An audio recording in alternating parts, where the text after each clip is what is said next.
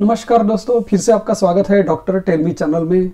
आज हम बात करेंगे स्पाइनल एनेस्थेशिया के कॉम्प्लिकेशन के बारे में, जिसको हम कहते हैं हाई स्पाइनल एनेस्थेशिया इसके बारे में हम मरीजों को बहुत कम एक्सप्लेन करते हैं, क्योंकि ये बहुत बहुत बहुत रेयर माना जाता है। और इसलिए हम इसकी जानकारी अक्सर मरीजों को देना पसंद नहीं करते, क्योंकि ये एक डेडली कॉम्प्लिकेशन है।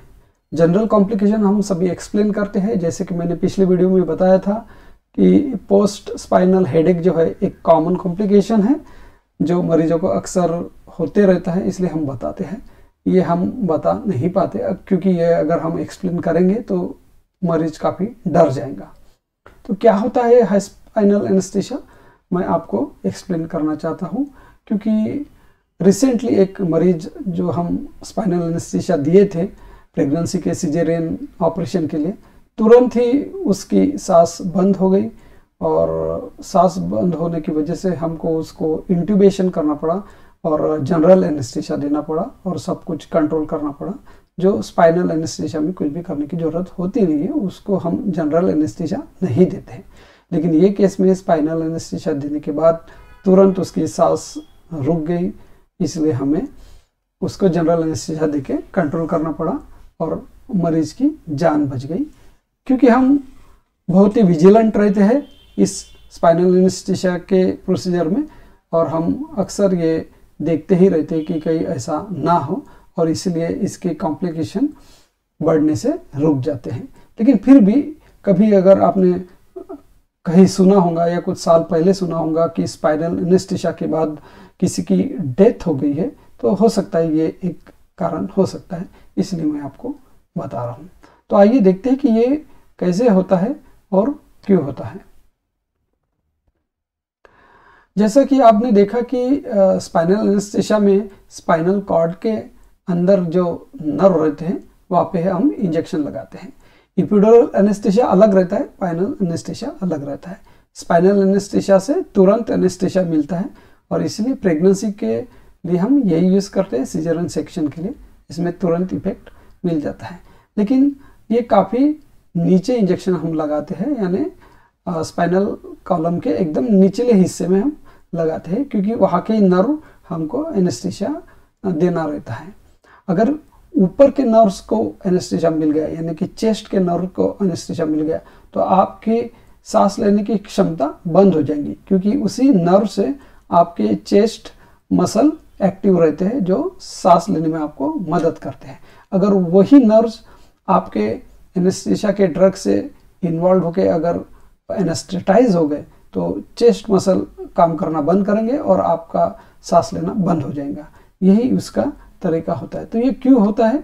जनरली हम जब भी एनेस्थीसिया देते हैं तो नीचे में लंबर रीजन में एनेस्थीसिया देते हैं और मरीज़ बाद में लेट जाता है। लेट जाने के बाद जैसा कि आपने ये कर्व देखा है इस कर्व के थ्रू अपना एनेस्थेशिया का ड्रग नीचे नीचे आ सकता है, जो थोरेसिक वर्टिब्रा तक जा सकता है। और इसको अवॉइड करने के लिए हमेशा हम थोड़ा सा प्रिकॉशन लेते रहते हैं। लेकिन फिर भी कभी कभी ऐसा हो जाता है कि लेटने के बाद आपकी ड्रग्स जो है, वो ऐसे ऊपर ऊपर जाती है। जैसे ये फिगर में आप देखेंगे कि लंबर वर्टिब्रा में इंजेक्शन देने के बाद उसका जो कर्व रहता है, थोड़ा सा नीचे जाता है थोरेसिक की तरफ़। तो ड्रग अपने आप नीचे जा सकता है। इसको हम भली भांति अवॉइड करते हैं कि ये पूरा ब्रेन तक ना चला जाए। लेकिन प्रेगनेंसी के दौरान थोड़ा सा कर्व जो है प्रेग्नेंट लेडी का मिसमैच रहता है। यानी उनका पेल्विक पोर्शन जो है पेल्विस थोड़ा सा ऊपर रहता है और उसकी वजह से और स्लोप बन जाता है। जैसे ये फिगर में देखेंगे कि स्पाइनल कॉलम का स्लोप सर की तरफ़ है। मतलब कोई भी ड्रग अगर नीचे में देंगे तो वो सर की तरफ़ जा सकता है। तो उस वजह से भी थोड़ा सा चांसेस रहते हैं कि आपका ड्रग ऊपर तक जाए, यानी चेस्ट के लेवल तक जाए या ब्रेन में जाए। अगर ब्रेन में गया तो पेशेंट तो बेहोशी हो जाएँगे। और चेस्ट तक गया तो सिर्फ़ उसको सांस लेने में दिक्कत आ जाएगी। इसको दो अलग अलग टर्म है, जैसे चेस्ट इन्वॉल्व हुआ तो हम हाई स्पाइनल कहते हैं और अगर ब्रेन इन्वॉल्व हो गया इन पूरा ब्रेन तक गया इंट्रा क्रैनियल गया तो उसको टोटल स्पाइनल कहते हैं। तो ऐसा हो सकता है। और इस प्रकार ये स्पाइनल का कॉम्प्लिकेशन होता है जनरली इसमें उसको सांस लेने में दिक्कत हो जाती है और हमको फिर उसको इंट्यूबेशन करना पड़ता है, यानी उसको जनरल एनेस्थेसिया देना पड़ता है और सब कुछ कंट्रोल में करना पड़ता है। अगर ये सब हो गया कंट्रोल तो कोई दिक्कत नहीं पेशेंट को कोई न्यूरो डेफिसिट नहीं होता, यानी उसका ब्रेन डैमेज नहीं होता, कुछ नहीं होता। लेकिन ये टाइमली मैनेज करने, यानी आपका जो एनेस्थेटिस है, उसको आना चाहिए। और इसमें बेबी का भी खतरा रहता है, क्योंकि अगर मदर का अगर सांस लेना बंद हो गया है तो बेबी का भी सांस लेना बंद हो सकता है। इसलिए ये दोनों को भी खतरा रहता है।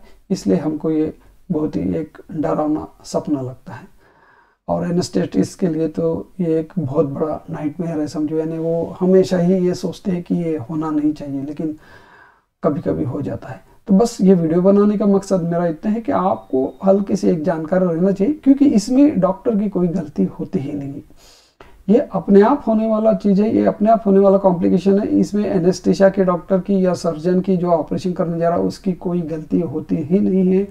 ये एक लाख में किसी एक मरीज़ को होने के चांसेस होते हैं और इसमें अगर कुछ अनजाने में कुछ अगर मिस हैपनिंग होती है तो डॉक्टर को दोष देने में कोई मतलब नहीं है। इसलिए आप ये समझो कि ये एक कॉम्प्लिकेशन कभी भी किसके साथ भी हो सकता है।